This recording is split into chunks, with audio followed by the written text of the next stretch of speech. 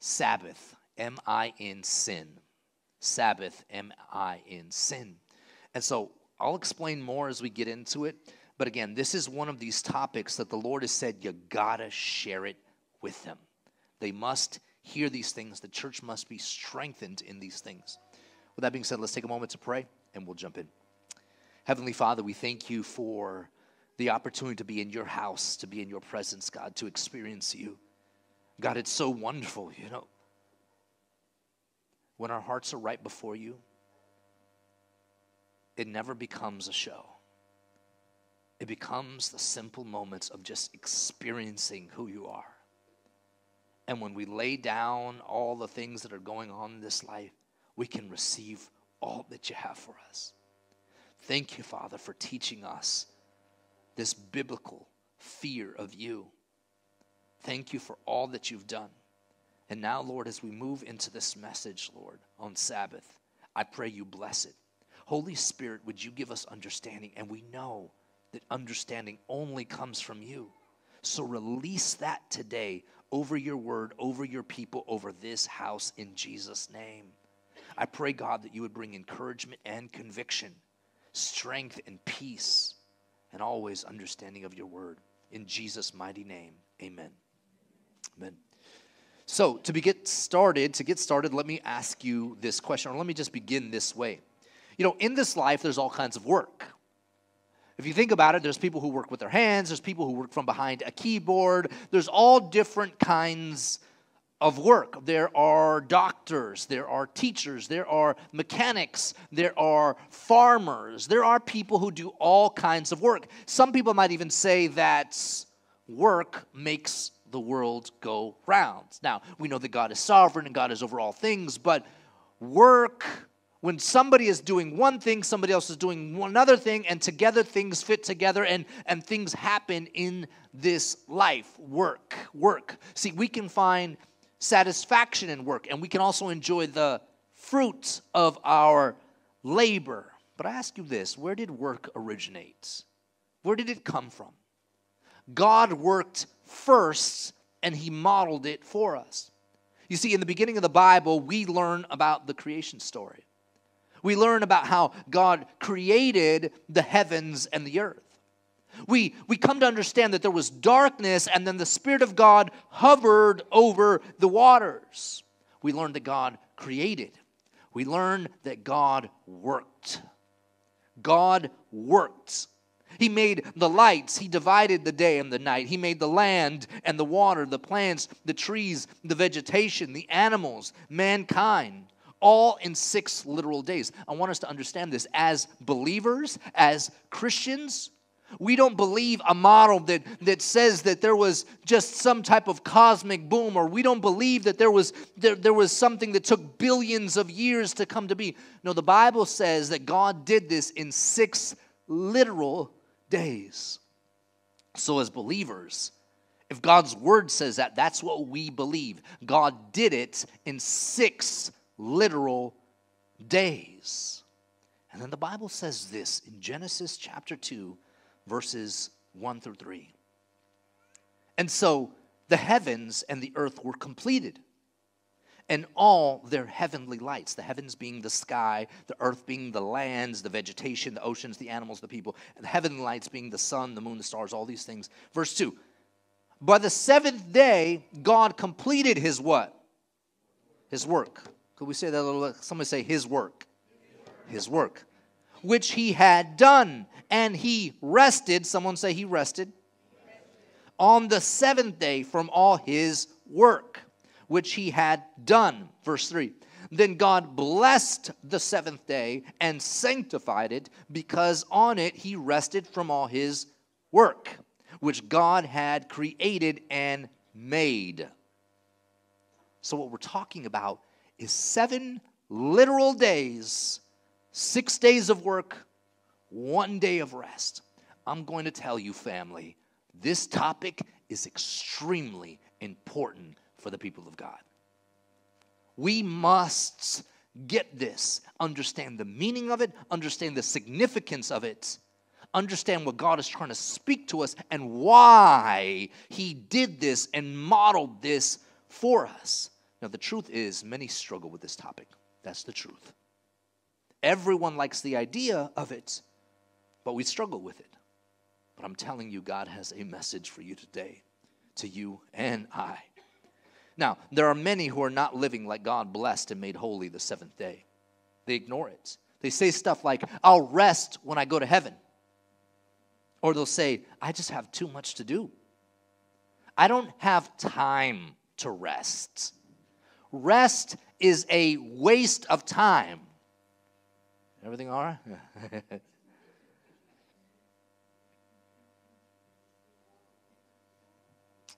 you know who would say stuff like that? Me. Me.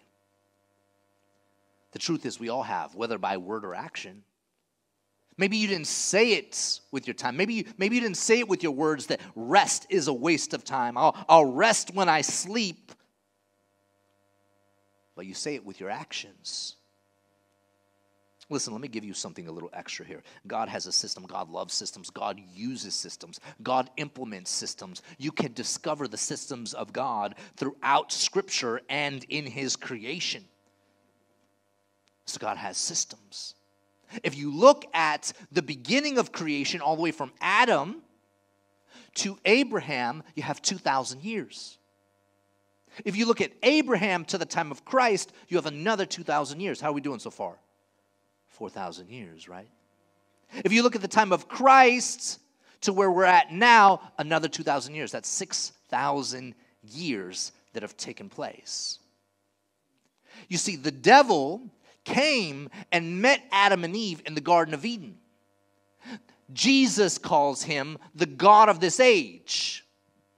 Satan has been ruling this world for 6,000 years, and the time is about to expire. You See, the Bible speaks of a 1,000 millennial reign, which would complete 7,000 years. Church, this is so, so important that we begin to prepare for the return of the Lord Jesus Christ. And He is telling us that this seventh day matters. There's something that every believer must get. God worked six days and rested on the seventh, but He didn't just rest. The Bible records that God blessed the seventh day and sanctified it. Now, why is this significant? What does this mean? You see, when God blesses something, he releases his favor over it, making clear his presence is with it. Now, you all have seen the blessing of God in your life in one way or another. You've seen God open that door. You've seen God heal you. You've seen God provide for you. You've come into a worship service and you've experienced His presence. All of you have experienced the blessing of God in one way or another. All of you have. You see, when you have the blessing of God, when you have this evidence, you know one thing you know that God is with you. Can you say it with me real quick? God is with me. He is, and I'm you must receive that over your life today. And I don't know about you, but I want more of Him.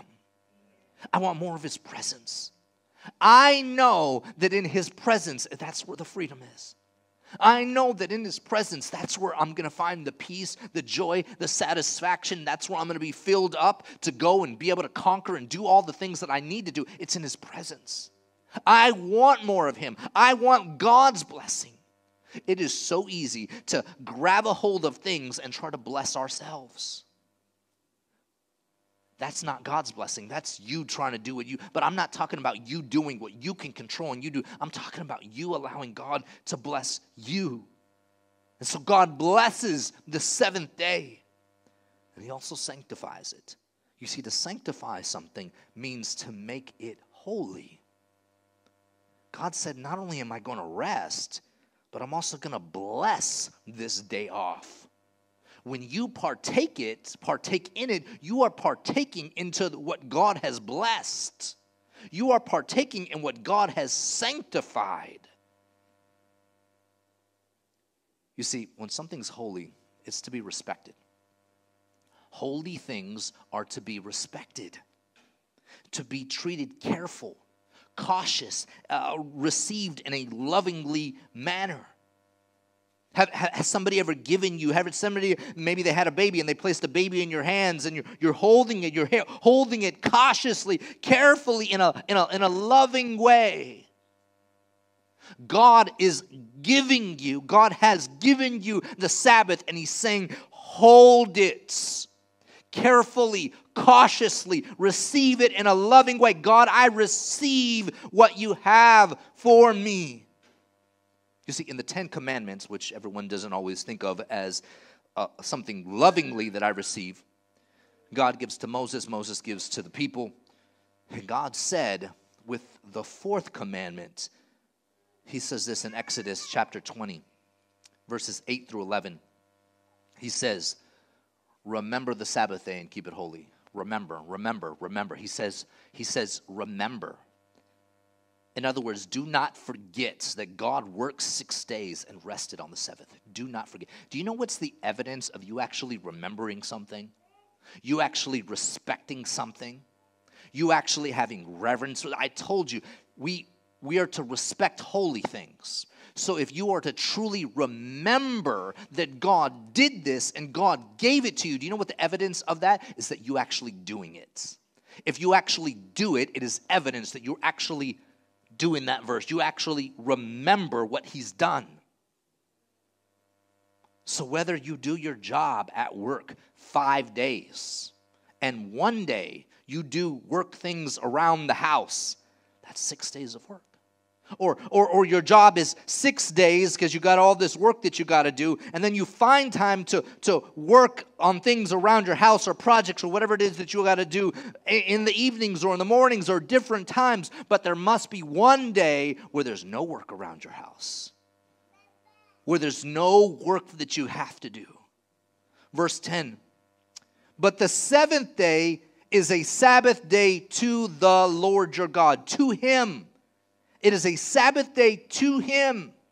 And on it you shall not do any work, neither you, nor your son or daughter, or your male or female servant, nor your animals, nor any foreigner residing in your towns.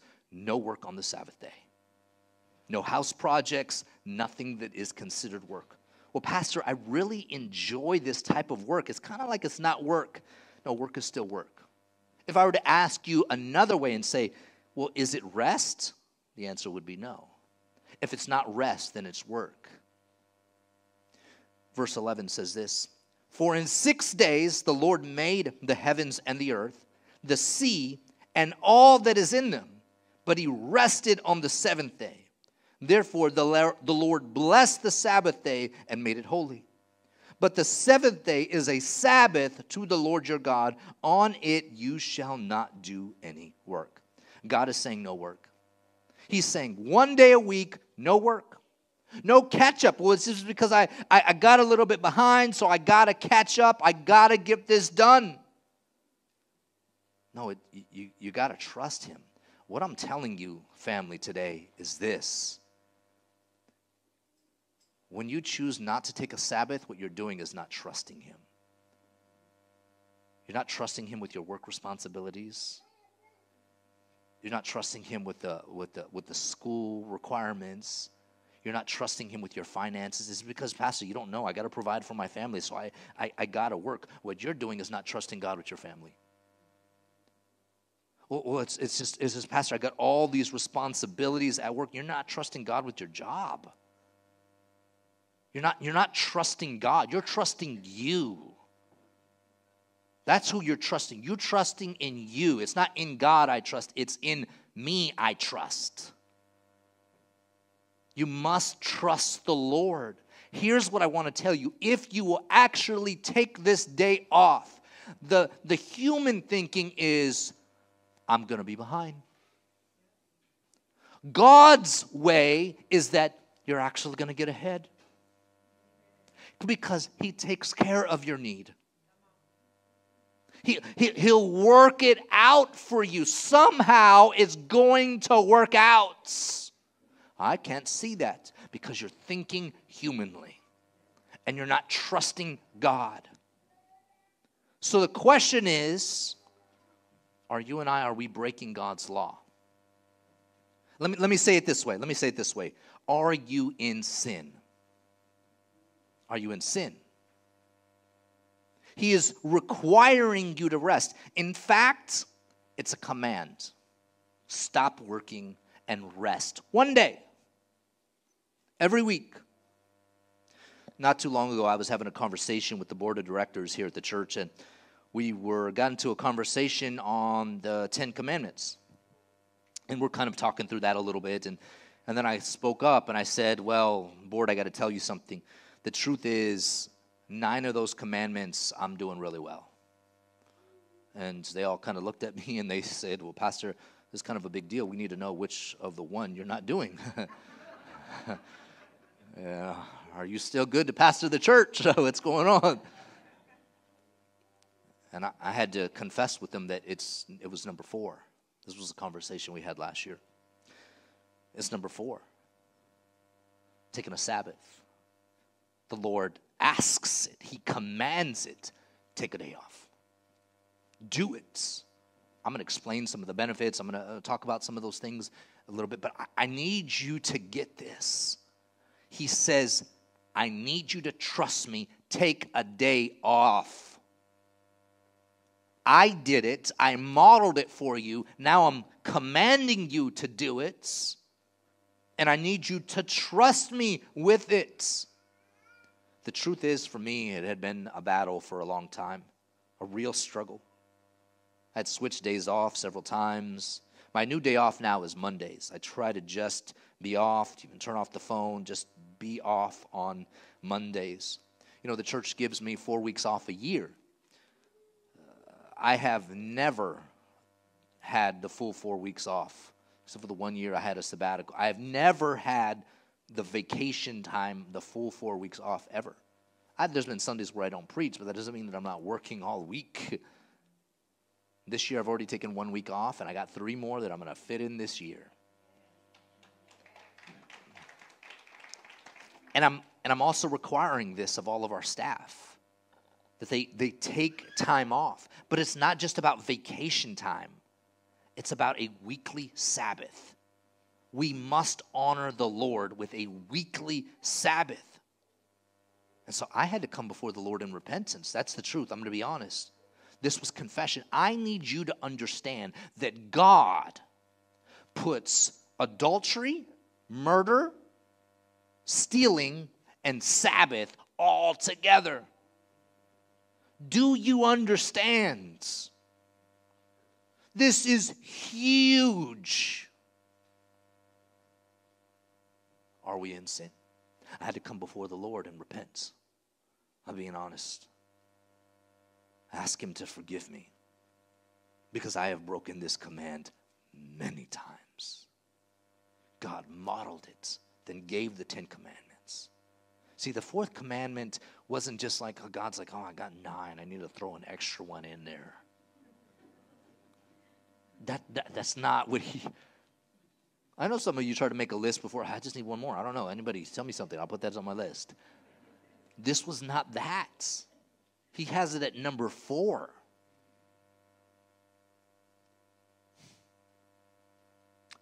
Honoring God with the Sabbath does three things. Number one, it honors God. That's a beautiful place to be. Number two, it gives you rest. Very, very important. Number three, it blesses your obedience. I've already said this before, but I need you to get it again. It's in your obedience that you receive the blessing of God. And I don't know about you, but I want the blessing of God. It's in my obedience. I have to do the right thing. In the right thing, I'm blessed. In my own thing, that's not what God is asking me. That's, that's not, I'm trying to bless myself. It's an obedience that I'm blessed. Pastor, you don't know my situation. I have to work seven days a week to make it. These are my responsibilities. You don't understand, Pastor. My day off is the only day that I can get stuff down around the house. Could it be possible that you don't trust God with provision and rest? Could it be possible that you don't trust God with your job? You don't trust God with your family? You don't trust God with your finances. You don't trust God with, with, with the things that are on your task list. You do not trust Him. What I'm saying is that if you are not trusting God to meet your needs in six days, then you're missing what He has because trust is everything. In fact, in Proverbs chapter 3, verse 5, he says this Trust in the Lord with all your heart and do not depend on your own understanding. Our own understanding sometimes gets us in huge trouble. It's so easy to depend on your own understanding. You know, I will rest later. What happens? Later doesn't come. I'll rest at night when I'm sleeping. That doesn't trust God, that doesn't honor Him. We are called to trust Him even with rest. In Psalms 37 5, the psalmist says, Commit everything you do to the Lord, trust Him, and He will help you. Would somebody say that with me? God will help me. Receive that over your life today because He will help you. He will absolutely 100% help you, but you got to do your part. There's always God's part. God will take care, but He's looking for you to do your parts. What's your part? You got to commit your work to Him. God, you gave me this job. God, you gave me this family. God, you gave me this opportunity to get this education. God, you gave me these things. I'm going to trust you with what you gave me. I'm going to trust you that you never intended for me to violate what you have modeled and what you have asked of me by what you gave me. Does that make sense? So I commit my responsibilities to Him. I trust Him with my finances, time, results. He will help you. That's His promise.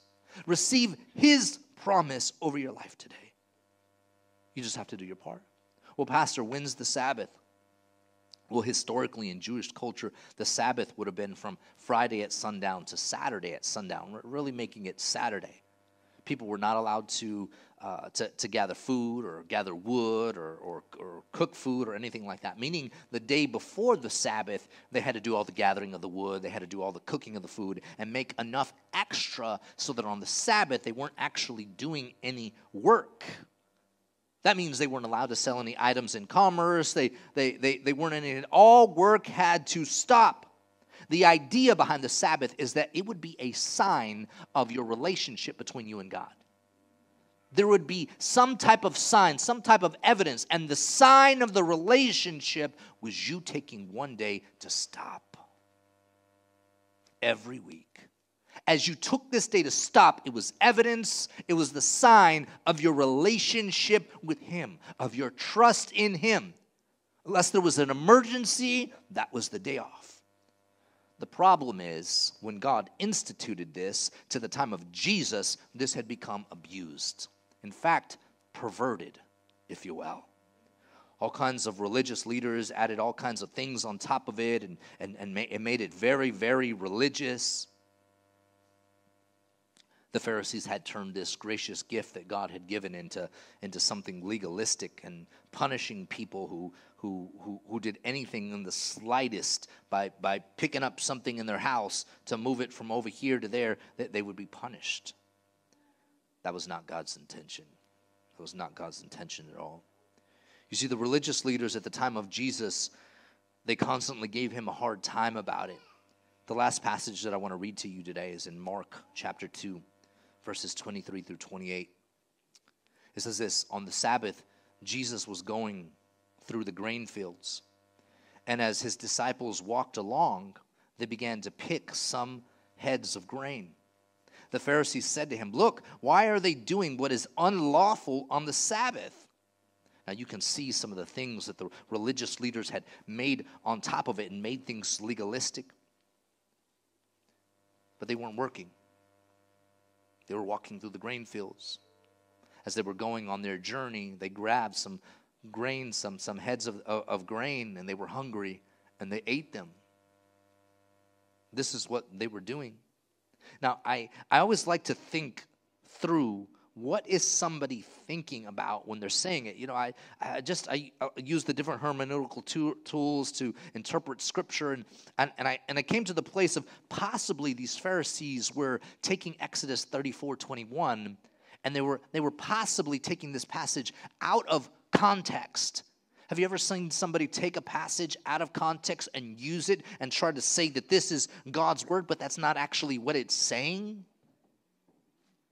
And so, possibly, these Pharisees, as they're speaking to Jesus, they're possibly taking Exodus 34 21 and they're taking it out of context and they're trying to charge Jesus and his disciples for walking through a grain field and taking these grains, these, these heads of grains, and eating them when they're hungry. So, Jesus comes back with him in a, in a passage from 1 Samuel 21, and he says, He answered, Have you ever read what David did when he and his companions were hungry and in need? In the days of Abiathar, the high priest, he entered the house of God and ate the consecrated bread, which is lawful only for priests to eat. And he also gave some to his companions. There are some who look at a passage like this and say, well, you know, David was a man of God. He was to be king. You know, it was fine that he took the consecrated bread. What I want you to understand is that the consecrated bread was only meant for the high priest. So it wasn't for you to anybody to just to come and to take. But not only did David grab some, but he gave some to his men. What was going on? They were in a desperate situation and they were hungry. So Jesus is refuting these Pharisees that are potentially taking Exodus 34 21 out of context and trying to use that against Jesus. And Jesus is like, listen, you're not getting it. You do not understand. God has created the Sabbath. Look at Jesus' words next. He said to them, The Sabbath was made for man, not man for the Sabbath. So the Son of Man is Lord even of the Sabbath. The Sabbath was made for man, not man for the Sabbath meaning God instituted this, modeled it, commands you to do it for your own benefit. This is your blessing. This is the gracious gift of God in your life. And when you do it, you will find the blessing of God in your obedience. He'll take care of the job situation. He'll take care of the finances. He'll take care of the family. He'll take care of the education. He'll, take, he'll work it out. But He has instituted it for your blessing. This is for you to receive. This is for you to own. This is for you to trust the Lord with. And in that, you'll find the blessing. In that, you'll find what God has for you. I want you to understand. See, when Jesus says the Sabbath was made for man, that's God's blessing. The man for the Sabbath, that's the, the, the legalistic religion. I don't want you to take this message today and make it legalistic and make it religious. I want you to take this and understand, receive the blessing of God for your life and rest. Rest. Sabbath was given as a gift for refreshment, three areas. Number one, spiritually. God always wants you to be refreshed spiritually. Second, mentally. Get your mind clear. Third, physically. Rest the body. When is my Sabbath? A day you choose that you can be consistent with every week.